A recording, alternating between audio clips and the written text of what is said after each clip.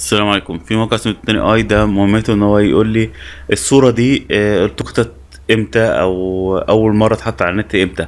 لأن ممكن واحد ياخد صورة قديمة جدا في بلد تانية خالص ويقول ده دي في الصورة دي حصلت النهاردة في الأحداث الأخيرة. فبتاخد الصورة وتحط الرابط بتاعها هنا. يعني خلينا مثلا ناخد أي صورة من هنا وليكن مثلا آه، الصورة ديت. واقول له view image هياخد الصورة دي.